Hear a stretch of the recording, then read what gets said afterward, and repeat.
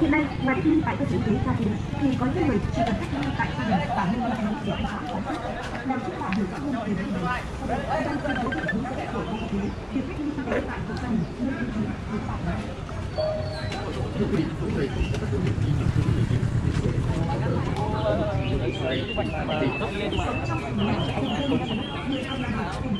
Còn ờ, đây là chỗ khu phố nơi chị Nhung Covid nha. Lúc nào cũng được túc ờ, 24 trên 7. người nước ngoài nhập cảnh vào Việt Nam từ Trung Quốc hoặc từng đi qua Trung Quốc từ tỉnh Hồ Bắc trong vòng 14 ngày. Nói chung là mọi người không có gì phải lo lắng cả. Về thời gian Tất cả các ờ, sự việc ờ, dịch xảy ra này đã nằm trong ờ, kế hoạch của ban phòng chống Covid rồi. Đều dự đoán được tình huống xảy ra nên mọi người không có việc gì phải là xôn xao cả. Ờ. ly. Đây là đồ ờ, đồ cứu trợ cấp phát ờ, nơi cư dân bị cách ly đây. Là đồ ờ, người dân ở khu cách ly đấy.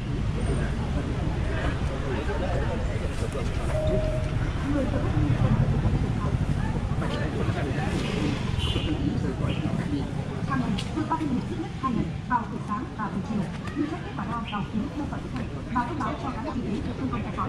Tìm thấy có một trong các biểu hiện như sốt, ho, cũng ờ, hơi đáng tiếc cho Việt Nam chúng ta là chỉ còn tuần nữa là công bố công bố là hết dịch đầu tiên trên thế giới. Nhưng ờ, trường hợp của nhung covid này lại chậm chạp hơn. Và cũng ờ, nằm trong kế hoạch ờ, dự phòng trường hợp nó xảy ra. Nên mọi người không phải là xôn xao lo lắng cả.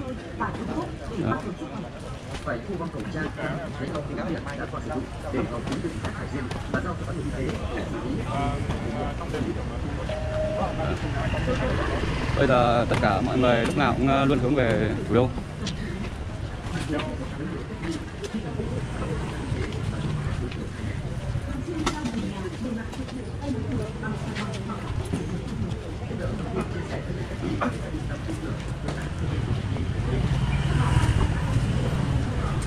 Đang à, đi ở đây.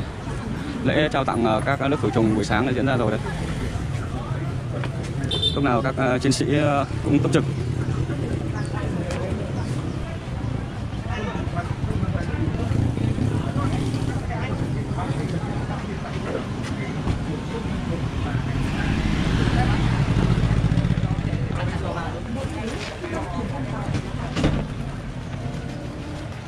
khuyến cáo về phòng chống bệnh viêm đường hô hấp cấp do virus corona của bộ y tế bệnh viêm đường hô hấp cấp do virus corona có triệu chứng sớm giống bệnh cúm thông thường như sốt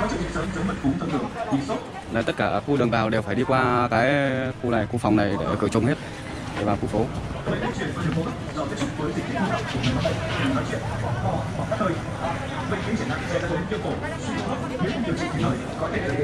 Rất là nhiều người dân mang đồ được cứu trợ, viện trợ.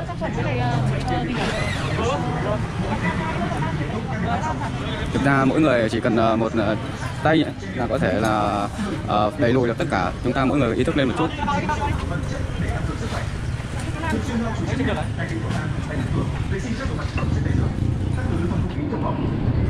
tránh tiếp xúc với người có biểu hiện cùng người có thực hiện đi làm bệnh công viên du lịch đến nơi đông người cả cả khi ờ, mọi người dân mà cứ loạn lên, cứ đổ xô vào cái khu siêu thị, buổi sáng được chứng kiến đứng hàng ờ, giờ đồng hồ để chờ thanh toán xếp hàng, mua đồ thật là thật là nhiều.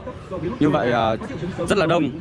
Rất dễ là lây nhiễm, chúng ta phải rút ra bài học từ Vũ Hán. Khi người dân đổ xô đi các siêu thị mua đồ, tập kết như thế, Mà lúc nào cũng khuyến cáo không đông người, nhưng mà kỳ thực là đến siêu thị là quá đông người luôn.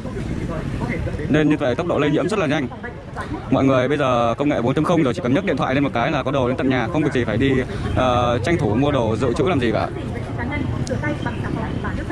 che miệng mũi khi ho hoặc hơi đeo khẩu trang ở nơi công cộng tập thể dục ăn chín uống sôi và điện chất để tăng cường sức khỏe Ở lúc nào cũng đưa tin trực tiếp uh, dịch Covid cho mọi người xem nhá. Đó.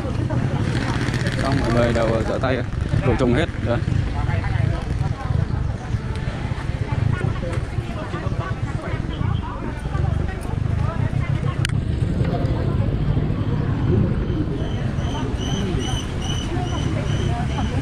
đang đang xuống vâng bốn giờ chuyển xuống có bọn em đang chờ chuyển xuống vâng đây rồi đấy không Khẩu trang viện trợ. Khẩu trang và nước khử trùng viện trợ đây, nước rửa tay khô đây. Zara viện trợ đây. Đấy. đây đó Công ty cổ phần quốc tế Lip Việt viện trợ. Rồi ok. Đây là hội phụ nữ quận Ba Đình. Dạ. Mua một cái này. Dạ. À có, có nghĩa là đây là đều là hội phụ nữ quận mình ờ, chung tay vào mua để ủng hộ bạn. Khẩu trang và nước sát khuẩn. Vâng vâng vâng. Đấy, mỗi người chỉ một chân một tay thôi đẩy lùi đơn giản thôi mà. Không có gì cả, tất cả đều trong ờ, dự tính của của các ban ngành người ta cũng dự tính rồi sẽ có trường hợp xảy ra chứ không có gì. Việt Nam mình là quá ok rồi. Các chị mua cái này là họ có kiểm định an toàn nên chị mua để cho nó Vâng, vâng. an toàn nhất đây người dân đây người ta rất là bình thản nhưng mà các đi các cái siêu thị mà làm gì mà mở chen lấn mở mua hàng thế đứng rất là lâu cả tiếng đồng hồ không lấy được hàng mà như thế rất là nguy hiểm. Phải rút kinh nghiệm từ cái vụ hàng. Bây giờ chỉ cần ờ, nhấc điện thoại một cái có người ta mang tận đồ tận nơi làm gì mà phải như thế. Đồ như nào cái cơ, các cơ sở ta chịu trách nhiệm hết. Mình không việc gì phải là như thế cả. Vâng.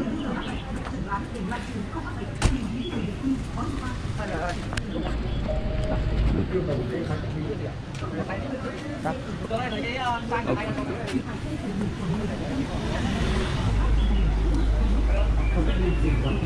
tình hình diễn biến như nào thì ờ, mình sẽ lại ờ, tiếp tục ờ, truyền về nhá. Chào mọi người nhá.